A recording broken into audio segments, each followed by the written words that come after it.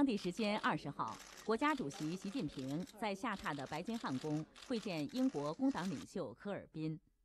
习近平指出，中英建交四十多年来，两国关系日臻成熟稳定。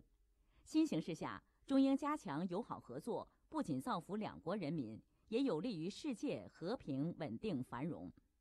经贸合作是中英关系的推进器和压舱石，面临广阔前景。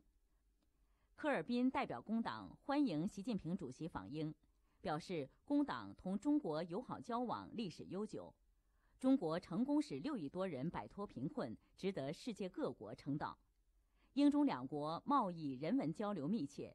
英方赞赏中方提出的一带一路倡议，认为这将造福有关地区国家人民，